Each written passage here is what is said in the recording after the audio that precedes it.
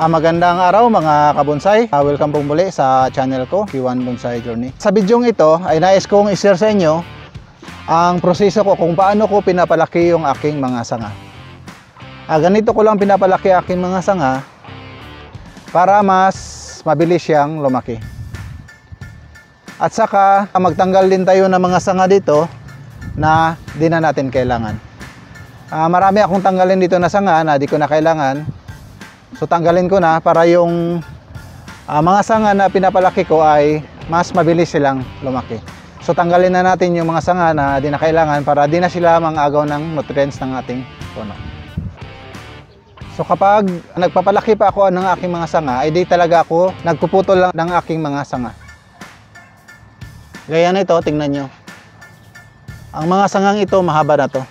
Noon, nung pinalaki ko yung mga primary branch ko, ay mas mahaba pa nito. Ipakita ko lang sa inyo. Ayan, tingnan nyo kung gaano nakahaba ang mga sanga nito.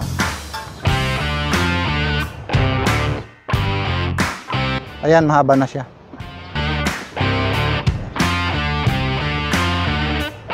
So ganito ko pinapalaki yung mga sanga ko. Wala mo nang putol yan hanggang sa di siya umabot sa tamang laki ang kanyang mga sanga. Ayan.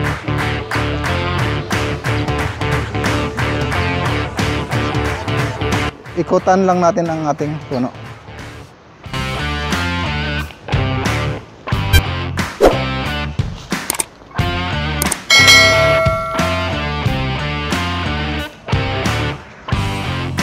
Ang front ko ay dito.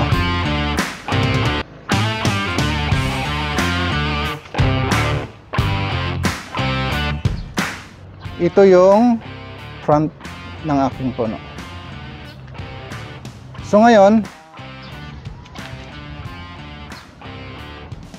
ang sangang ito, ito, tanggalin ko.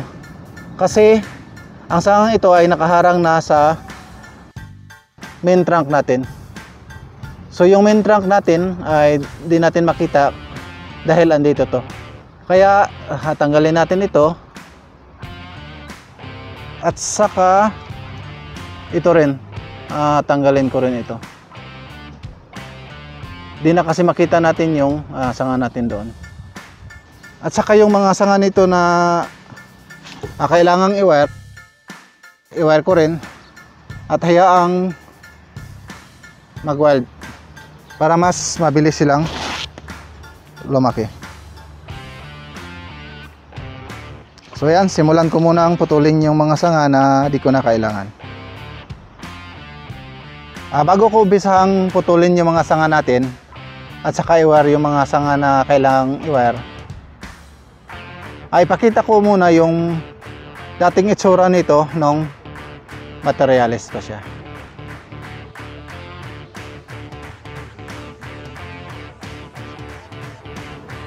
So ayan, yan yung itsura niya dati. So ngayon, malaki na yung pinagkaiba niya. Kasi pinalaki ko na tong mga sangang ito. Ito, ako na nagpalaki nito. Halos ng sanga nito, ako na nagpalaki. Ito, ang sangang ito, tingnan natin dito. Yan. Ang sangang ito, ako na to ang nagpalaki. Nung ganito na siya kalaki, ah, pinotol ko na siya dito. Pinotol ko siya dito at saka pinatubo ang dalawang sanga ito. At saka ito rin, ah, nung malaki na siya, ah, pinotol ko siya dito at saka pinatubo rin ang sangang ito. Ah, ikutan lang natin. Ipakita ko lang yung mga pinutol ko na, na mga primary na sanga ko noon. Dito rin, Ayan. So may pinagputulan din dito. Ah, pinalaki ko muna to at saka pinutol, pinutol ito at saka ah, pinatubo ang mga sangang ito. Itong sanga ring ito sa back bands ko, ako na nagpatubo nito. Bali grafted to. Walang tumubo dito kaya nag-graft na lang ako dito. At saka pinalaki ko at saka pinutol rin dito. At saka pinatubo ang mga sangang ito. Pero ang sangang ito, ah, tanggalin ko ito mamaya. Ang gamitin ko na lang na sanga, ang sangang ito, ito at saka itong isa sa likod.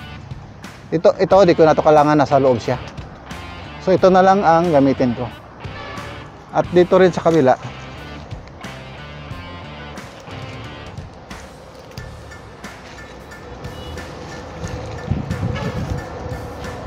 Ito rin, makikita nyo. May pinagputulan din ako dito. Pinotol ko rin ito at saka pinatubo to. Ito rin, na pinotol ko rin dyan. Malaki na siya at saka pinatubo to. At saka ito. Ito rin dito, yan. Pinagputulan rin diyan at saka ito. Pinagputulan rin ito. Ito, pinagputulan rin at saka ito. So ganito ko pinapalaki yung mga sanga ko at saka ganitong proseso ang ginagawa ko para yung mga tipiring ng aking mga sangay maganda. Dito sa, tayo sa kabila. Dito rin ah, marami din marami rin akong pinagputulan dito. Yan, pinutol ko rin yan. Saka yung isa at saka ito saka ito. Ito, nung malaki na siya, pinutol ko na siya dito. Ngayon, malaki na siya, ah, putulin ko naman siya dito. So, ganyan lang. Ah, ganyan lang ang proseso ko kung paano ko pinapalaki yung aking mga masanga. Hindi ko sila pinuputol hanggang di siya nasa tamang laki. Gaya na sinabi ko, ngayon, ah, i-wear ko tong mga sanga nito at saka hayaan namang magwal uli para mas mabilis siyang lumaki. At saka tanggalin ko pala yung ibang mga sanga ko dito na di ko na kailangan.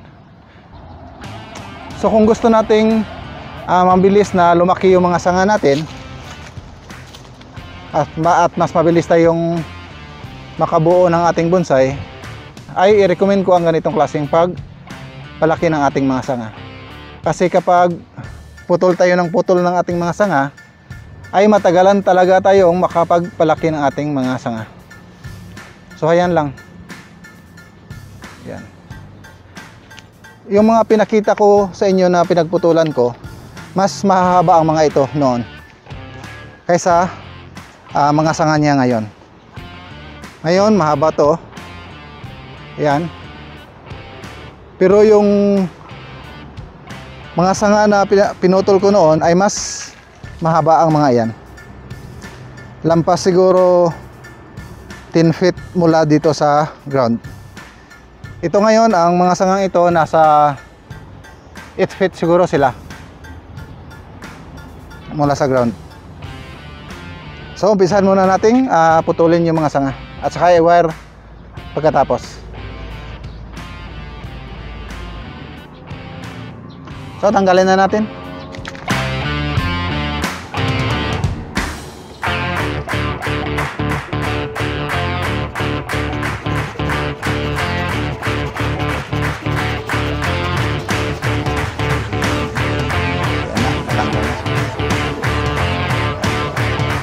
So, ayan. Gumanda na siyang tingnan. Gawin ko na lang tong share.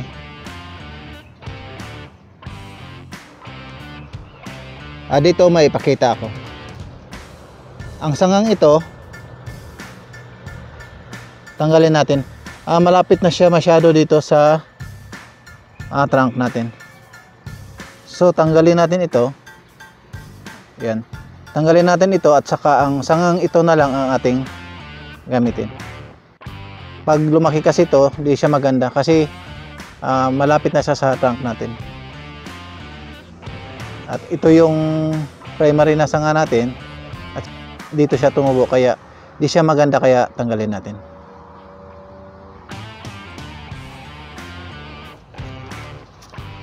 So tanggalin ko na. Malaki na to, sayang sana tanggalin pero kailangan di kasi maganda tong piston niya. Kaya kahit malaki na siya, kailangan natin tanggalin.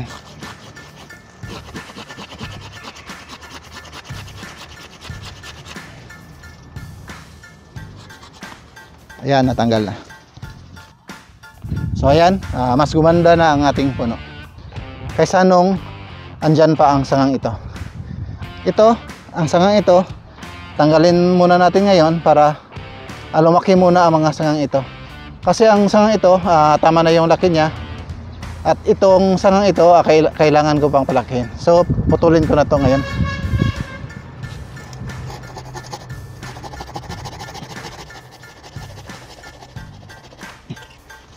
Yan na. So, natanggalan natin yung ang sanga. Ang sangang ito ngayon ang isusunod nating ah, tanggalin.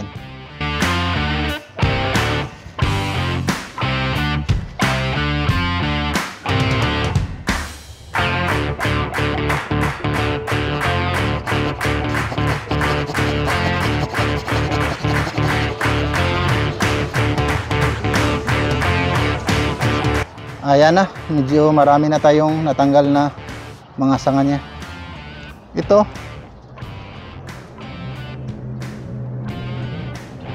Ang mga sangang ito, ito isa, dalawa, ah, tama na yung laki nila kaya putulin ko na ngayon.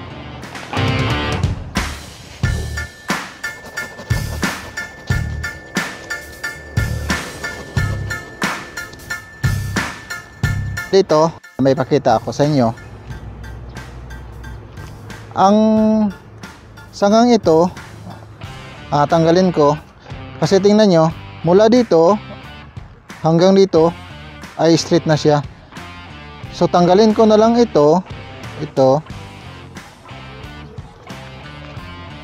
Tanggalin ko na lang yan. Ito, tanggalin ko na lang ito. At saka, ang sangang ito, ah, ito na lang yung gamitin ko na dalhin dito. Para may sanga pa rin siya dito. Kasi pag ginamit ko to, pangit siyang tingnan kasi straight na siya, tingnan nyo. So tanggalin ko na lang ang sangang ito. Mula dito, uh, lumiko na siya dito. So di na straight yung ating sanga dito.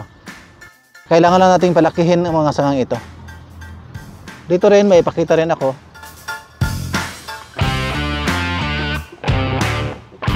Tingnan nyo.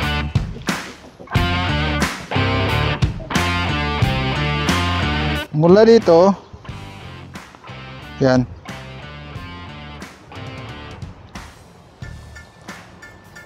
Ang sangang ito, mula dito, ay talagang straight na siya. Kaya tanggalin ko na lang ito para yung sanga natin dito, mula dito, ay lumiko siya dito. Kasi kapag di natin to tinanggal, pangit siyang tingnan, tingnan nyo, straight na straight na siya. So para mawala yung sobrang straight ng sanga ito, para lumiko siya dito, to- tanggalin natin ito.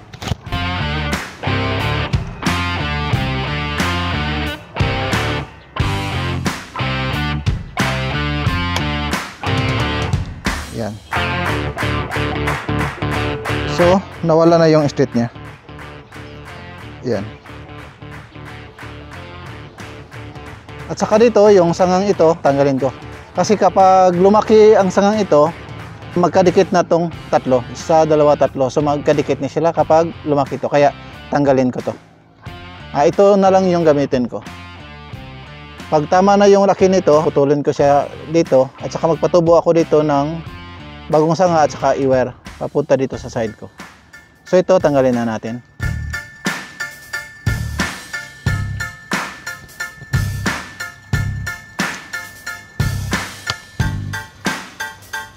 Yan na, tanggal na.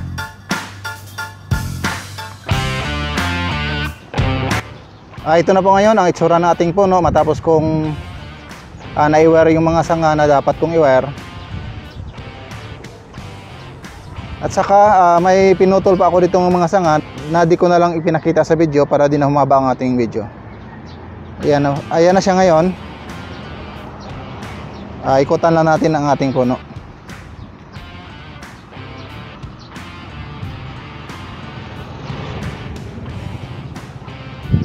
So ang gawin ko dito ngayon, ah, hayaan ko muna itong mag-wild para mas mabilis lumaki yung kanyang mga sanga. So mga ilang buwan na naman ah, bago ko ito i-wire yung mga sanga na maliit pa na di ko pa na-wire. ah, hayaan ko lang muna silang lumaki. Ito yung likod ng ating puno. Ito siya. Pag lumaki ang mga sangang ito, ah, maganda tong tingnan.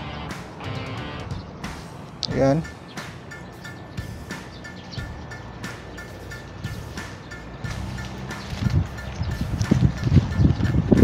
Ito yung ah, kaliwang side niya.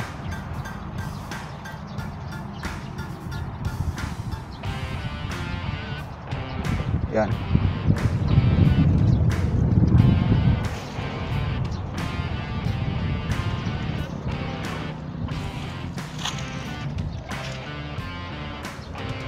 At kung may mga katanungan kayo, ah, mag-comment na kayo sa comment box para masagot ko ang mga ito.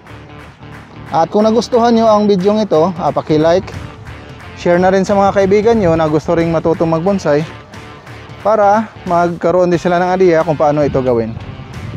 At sa mga di pa pala naka-subscribe sa akin, ah, paki-subscribe na rin at pindutin ang bell notification button para ma-notify kayo sa mga susunod kong gawing video. Ah, Salamat sa panonood.